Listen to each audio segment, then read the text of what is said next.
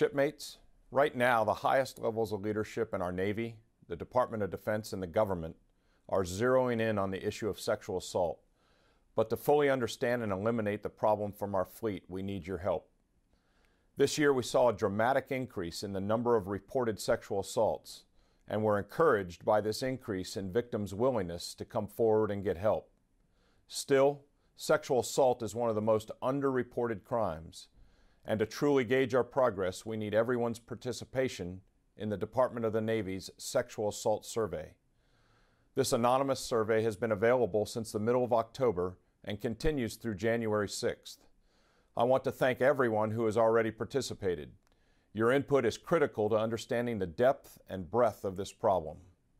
This is a voluntary survey, but we need the participation and input of every single sailor, enlisted and officer. The website is listed below, and the password is 2013 survey. Sexual assault has no place in our Navy, and I need your help to stop it. Thank you.